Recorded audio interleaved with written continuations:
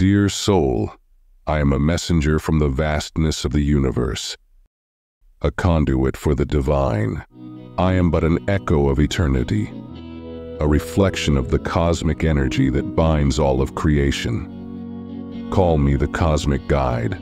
I am here to deliver a message crafted just for you, a message from the universe itself. First, know that you are a unique expression of divine energy. Your existence is a cosmic dance, a symphony of stardust and consciousness.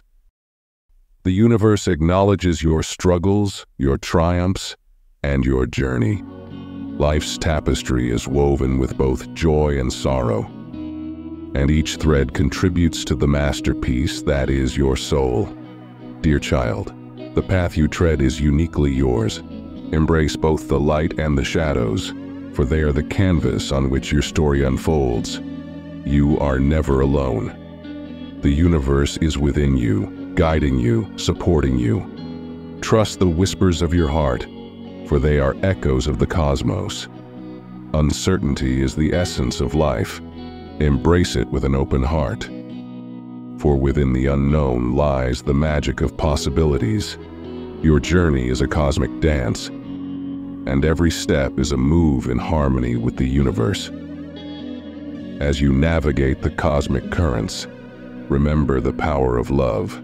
Love binds galaxies, and it can mend the wounds of the soul. Share your love generously, and the universe will respond in kind.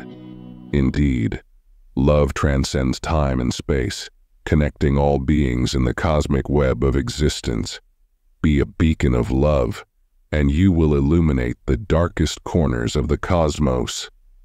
One more thing, my child. Never forget the importance of gratitude. Gratitude is the language of the universe. When you express gratitude, you align your energy with the cosmic flow, inviting abundance into your life.